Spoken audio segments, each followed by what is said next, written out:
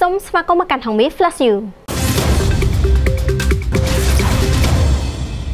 ជនសង្ស័យលួចរថយន្តទំនើបមួយគ្រឿងម៉ាក់ថនតារានៅខេត្តឧត្តរមានជ័យត្រូវបានសមត្ថកិច្ចឃាត់ខ្លួនហើយ រហូតមកទល់រសៀលថ្ងៃនេះជនសង្ស័យនៅក្នុងករណីលួចរថយន្តទំនើបមួយគ្រឿងម៉ាក់ធុនតារាឆ្នាំ2010នៅខេត្តឧត្តរមានជ័យពេលម្ចាស់ផ្លេចដកសានោះត្រូវបានសមត្ថកិច្ចឃាត់ខ្លួនហើយជនសង្ស័យមានឈ្មោះពុំឆៃណាភេទប្រុសអាយុ23ឆ្នាំរស់នៅភូមិ2សង្កាត់កំពង់ស្វាយក្រុងស្រីសុផុនហើយពេលនេះកំពុងសាកសួរនៅស្នងការខេត្តឧត្តរមានជ័យក្រោយពីធ្វើសកម្មភាពជលមើបានជិះរថយន្តនោះទៅដល់ទឹកដីខេត្តបន្ទាយមានជ័យទើបសមត្ថកិច្ចខេត្តឧត្តរមានជ័យសហការខាត់បាន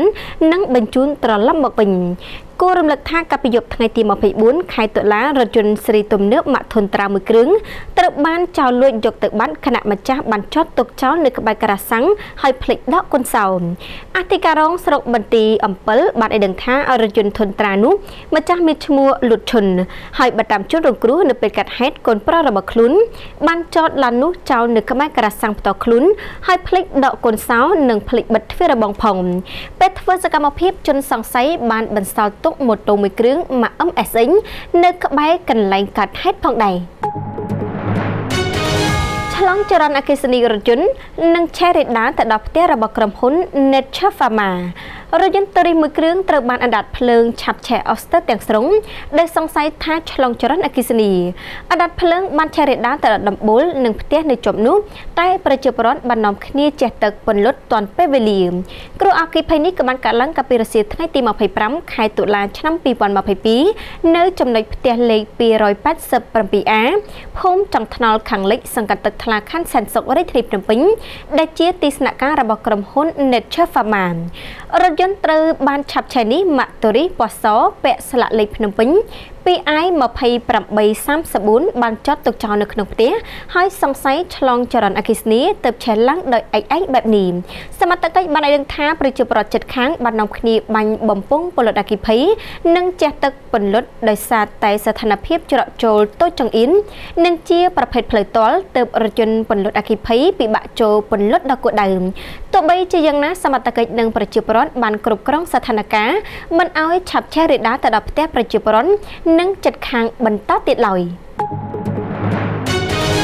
ក្មេងទំនើបមួយក្រុមពូកែខាងដេកក្រាបលើម៉ូតូបង្ហោះត្រូវបានក្របួចមកអប់រំក្មេងទំនើបមួយក្រុមចំនួន3នាក់ មានជំនាញខាងបង្ហោះម៉ូតូនិងដេកក្រាបលើម៉ូតូហើយបើកលឿននៅតាមផ្លូវសាធារណៈនោះត្រូវបានសមត្ថកិច្ចក្រុងបូកូខេត្តកំពតបង្ក្រាបបានហើយឧត្តមសេនីយ៍តូម៉ៅច័ន្ទធូរិតស្នងការនគរបាលខេត្តកំពតបានឲ្យដឹងថាកាលពីរសៀលថ្ងៃទី23ខែតុលាមានក្រុមក្មេងទំនើងចំនួន3នាក់ជិះម៉ូតូពីរគ្រឿងបានធ្វើដំណើរនៅលើផ្លូវឡើងទៅលើភ្នំបូកូស្ថិតនៅក្នុងភូមិកែបថ្មី សង្កាត់បឹងទូកក្រុងបូកូខេត្តកំពតដោយក្មេងម្នាក់មានឈ្មោះរឿងរស្មីអាយុ10 16ឆ្នាំជាអ្នកធ្វើសកម្មភាពបើកបរម៉ូតូប្រើកាយវិការដេកក្រាបលើម៉ូតូរួចបង្ហោះដោយឡែកពីអ្នកទៀតជាអ្នកថនក្រោយទទួលបានព័ត៌មាននេះសមត្ថកិច្ចនគរបាលមូលដ្ឋានក្រុងកែបក៏បានចេញប្រតិបត្តិការស្ទាក់ខាត់បានភ្លាមភ្លាមយកទៅអប់រំនិងហៅឪពុកម្ដាយធានាយកទៅផ្ទះវិញគួរបញ្ជាក់ថាសកម្មភាពបែបនេះត្រូវបានគេឃើញជាច្រើនលើករួចមកហើយនៅទឹកដីក្រុងបូកូប៉ុន្តែសមត្ថកិច្ចតាមមិនទាន់តែលើកនេះប៉ះចំថ្ងៃសោយ thank you សមត្ថកិច្ចខេត្តប្រសែនុកំពុងតាមចាប់ក្រុមចោរកាត់ខ្សែភ្លើងដែលមានអង្គការចាត់តាំងរដ្ឋបាលខេត្តប្រសែនុបានឲ្យដឹងរសៀលថ្ងៃទី25ខែតុលានេះថាកន្លងមកនៅខេត្តប្រសែនុមានក្រុមចោរដែលលួចកាត់ខ្សែភ្លើងបំភ្លឺតាមផ្លូវសាធារណៈនៅតាមបណ្ដោយវិថីសំខាន់សំខាន់នៅក្នុងភូមិសាខេនហើយក្រុមនេះគឺជាក្រុមចោរដែលមានអង្គការចាត់តាំងនិងបានធ្វើសកម្មភាពជាប្រចាំដោយផ្លាស់ប្ដូរទីតាំងដើម្បីបង្វែរដានសមត្ថកិច្ចមកទៅនឹងពេលនេះសមត្ថកិច្ចបាននឹងកំពុងតែតាមប្រមាញ់ក្រុមចោរបំភ្លេចបំផ្លាញទ្រព្យសម្បត្តិសាធារណៈទាំងនេះយកមកផ្ដន់ទិញទោសទៅតាមនីតិវិធីរដ្ឋបាលខេត្តនឹងផ្ដល់រង្វាន់លើកទឹកចិត្តព្រមទាំងរក្សាការសម្ងាត់ជូនបងប្អូនប្រជាពលរដ្ឋដែលបានចូលរួមសហការផ្ដល់ព័ត៌មានដល់អាជ្ញាធរមានសមត្ថកិច្ចករណីប្រទះឃើញសកម្មភាពក្រុមចោរលួចកាត់ខ្សែភ្លើងទាំងនោះ គួររំលឹកដែរថាកន្លងមកនៅលើទឹកដីខេត្តប្រសេនុជាខេត្តគោលដៅសេដ្ឋកិច្ចទេសចរដ៏សំខាន់មួយរបស់ប្រទេសកម្ពុជា មានក្រុមចោរដើរកាត់ខ្សែភ្លើងបំភ្លឺសាធារណៈជាញឹកញាប់ប៉ុន្តែសកម្មភាពរបស់ពួកគេមិនទាន់ត្រូវបានបង្ក្រាបនោះទេដែលពួកគេធ្វើសកម្មភាពបែបអង្គការចាត់តាំងមមហាជនស្នើឲ្យក្រុមហ៊ុនពិនិត្យលក្ខណៈសម្បត្តិរថយន្តកុងតឺន័រឲ្យបានត្រឹមត្រូវមុនអនុញ្ញាតឲ្យបើកបរទៅលើផ្លូវល្បឿនលឿន ការបើកបរសាឡបងលើផ្លូវល្បឿនលឿនរយៈពេល1ខែចិត្តត្រូវបានបញ្ចំមានការលើកឡើងយ៉ាងច្រើនទាក់ទងទៅនឹងបញ្ហាដែលកើតមានឡើងនៅលើផ្លូវនោះជាលទ្ធផលចំណុចខ្វះខាតដែលពលរដ្ឋលើកឡើងរួមមានការបែកកង់ក្រុមហ៊ុនមិនបដូរឲ្យនិងការអូសរថយន្តនៅក្នុងតម្លៃថ្លៃជាដើមក្រោយពីមានកិច្ចប្រជុំរវាងក្រសួងសាធារណការនិងក្រុមហ៊ុនក៏បានសម្រេចកែសម្រួលទៅលើចំណុចមួយចំនួនដូចជាការអនុញ្ញាតឲ្យរថយន្តដែលបែកកង់ធ្វើការផ្លាស់ប្ដូរដោយខ្លួនឯង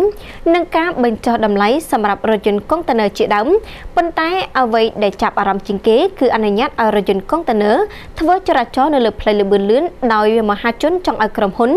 ពិនិត្យលក្ខណៈសម្បត្តិទៅលើរថយន្តប្រភេទកុងតឺន័រមួយចំនួនគឺប្រសិនបើចាស់ពេកឬទ្រុឌទ្រោមពេកមិនគួរអនុញ្ញាតឲ្យបើកបរលើផ្លូវលឿនលឿននោះទេពីព្រោះកន្លងមករថយន្តកុងតឺន័រចាស់ចាស់នេះបានបង្កគ្រោះថ្នាក់ជាច្រើនជាពិសេសធ្លាក់ទូកុងតឺន័រនិងក្រឡាប់ជាដើមគួររំលឹកថាផ្លូវលឿនលឿនដែលអនុញ្ញាតឲ្យបើកបររយៈពេល1ខែមកហើយនោះចិត្តត្រូវបានបញ្ចប់ហើយនៅសល់តែប្រមាណ7មួយសប្តាហ៍ទៀតប៉ុណ្ណោះ បញ្ជូនយុវជន3នាក់ទៅតុលាការក្រុងប្រើកាំបិតបង្តោកាប់ទៅលើជនរងគ្រោះនិងបំផ្លាញម៉ូតូសិស្សសាលាចំនួន3នាក់ត្រូវបានសមត្ថកិច្ចចាប់បញ្ជូនទៅកាន់តុលាការរាជធានីភ្នំពេញនៅព្រឹកថ្ងៃអង្គារនេះពាក់ព័ន្ធទៅនឹងបទចោទប្រើអំពើហិង្សាដោយចេតនាមានស្ថានទងន់ទោសនិងធ្វើឲ្យខូចខាតដោយចេតនាមានស្ថានទងន់ទោសករណីប្រើដាវកាឆ្នៃនិងកាំបិតបង្តោកាប់ទៅលើជនរងគ្រោះបណ្ដាលឲ្យរងរបួសស្រាលនិងកាប់ម៉ូតូយុវជនជនសង្ស័យទាំង3នាក់មានអាយុ18ឆ្នាំដូចគ្នា មានឈ្មោះជីងឆាំងឡុង ឈ្មោះហនវិរៈនិងឈ្មោះទីសត្រារដ្ឋាហៅទូបានយកកំបិតកៃឆ្នៃនិងកំបិតប៉ាំងតោកាប់ទៅលើជនរងគ្រោះមានឈ្មោះហៀងពីងខ្វាន់ភេទប្រុសអាយុ20ឆ្នាំបណ្ដាឲ្យរងរបួសស្រាលនិងកាប់ម៉ូតូឲ្យខូចខាតចំនួន4គ្រឿងនៅមុខផ្ទះជួលលេខ1970កែង1013នៅក្នុងភូមិពងពីសង្កាត់ភ្នំពេញថ្មីខណ្ឌសែនសុខរាជធានីភ្នំពេញកាលពីថ្ងៃទី21ខែតុលាឆ្នាំ2022ហើយរត់ កិច្ចខ្លួនបាត់សូមអរគុណចំពោះការគាំទ្រហងមាស Flash You